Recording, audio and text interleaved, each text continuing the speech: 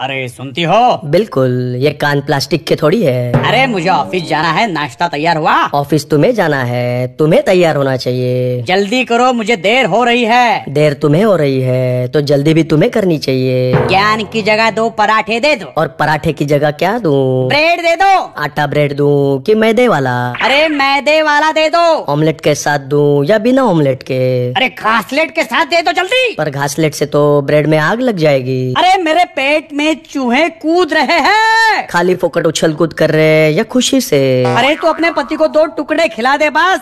चूहों की वार्ता बाद में कर लेना। शिखर वार्ता की नॉर्मल वार्ता? नाश्ता रहने दो मैं ऑफ़िस के कैंटीन में खा लूँगा। तो घर में जो नाश्ता बना है उसका क्या होगा? किसी गरीब को दान कर देना हाँ? कौन से वाले गरीब को? नॉर्मल वाला गरीब या अजीबो गरीब? अरे कुत्तों को खिला दो मुझे क्या? गली के कुत्तों को या पालतू कुत्तों को? जैसी मर्ज़ी दे देना।